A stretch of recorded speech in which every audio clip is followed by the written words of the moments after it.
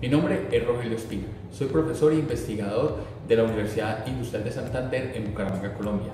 Actualmente desarrollamos un proyecto en conjunto con la Universidad Técnica de Manabí de Ecuador. El título es Nanofertilizantes en el suelo y emisiones de óxido nitroso. El objetivo es sintetizar y caracterizar nanofertilizantes a base de titanio, zinc y ceolitas para evaluar su eficacia en fertilización y en reducción de emisiones de óxido nitroso. Gracias. Somos Fontagro. Somos ciencia colaborativa en acción.